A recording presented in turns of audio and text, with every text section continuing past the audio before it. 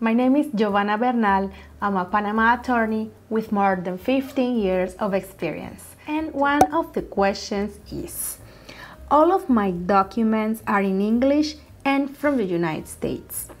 Where should I get them translated into Spanish and legalized? I want to do this correctly.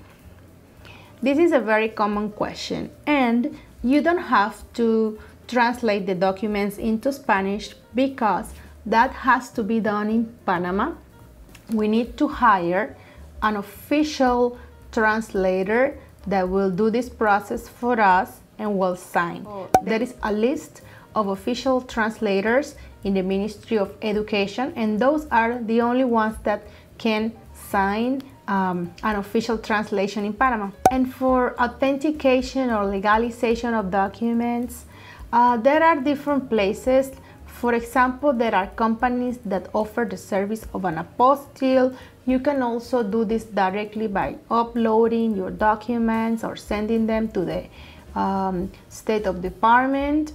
And the other option, which is the one I see the most, is by sending them or uh, or getting an appointment with the Panamanian consulate near you. The Panamanian consulate will certify the documents. Basically, what they do is that they certify that the signature of a public officer is valid. Another question is for the fixed term deposit investment, we have to open the bank account as a tax non resident and then apply for residency through investment. But I thought that the Panamanian banks don't open accounts for non residents. Is that right? Seems like a catch 22. This is a very good question. Um, and I have to say that many of the traditional local banks will only open accounts to residents.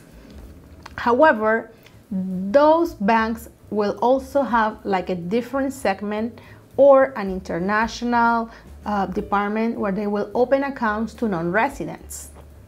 At the same time, if you're interested also in opening a bank account because you are applying for residency, some of the banks will let you do that if an attorney signs a letter certifying that your visa is in process. Therefore, if you're interested in the permanent residency through opening a CD, a fixed term deposit, there are banks that will definitely help you open the account, whether it's remotely or by visiting Panama. They will help you, they will give you, right now, they are giving very good um, interest rates from 4 to 6%, and they will help you open the fixed term deposit so you can obtain your residency in Panama. Another question is I'm in the process of obtaining Italian citizenship. Once I get it, I'd be interested in learning more about the ways to get residency permit of my Italian passport.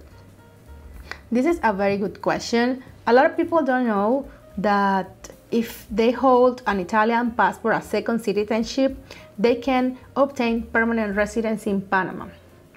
This is a very easy way to obtain residency if you have the Italian passport because you just have to show that you have a, Panamanian company with shares and also that you have the Italian citizenship and a second Italian ID that can be an ID from Italy or a certificate of citizenship from your nearest Italian embassy. With this type of visa, the applicant will obtain permanent residency in less than six months and also the e-cedula. Another question is, hello, for the temporary visa for US citizens, you mentioned one of the ways they will approve your stay is if you are going to school in Panama, can it be school I'm going to learn Spanish? What type of schooling is considered acceptable? Please advise and thanks so much. This is a very good question. If you don't know, there is a visa for US citizens that is temporary, it's for one year, and you can extend that for up to five years. You can use this type of visa, for example, if you are close to retirement and you want to move to Panama earlier, or if you have a limited budget and you still want to move to Panama without applying to the Friendly Nations visa or making an investment. Therefore, what you need to show is that you want to work or study or open a company in Panama.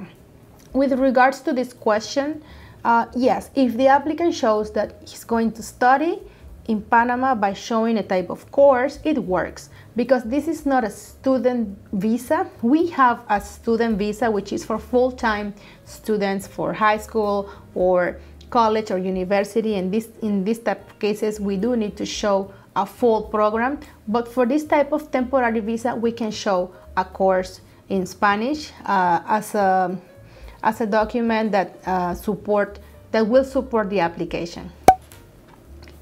Another question is, you didn't talk about opening a business in Panama as an entrepreneur. Is 200k still a requirement? Okay, this is another visa. I haven't made a video of this visa yet because it's not as popular as the others. However, there is a type of permanent residency by investment in a business, which means that if you invest the amount of 150k in a business in Panama, let's say um, you open a restaurant and you hire people and you buy an office and the whole amount of the investment is at least 150,000 you are eligible for permanent residency under this category the most important thing is to show by showing invoices the most important thing is to show and prove for example by showing invoices that the investment has been made on a business in Panama. And finally I would invite you to like and share this video subscribe to this channel follow us on social media and if you're interested in learning more about our services you can always click on the link below for a Zoom consultation. Thank you. Bye bye.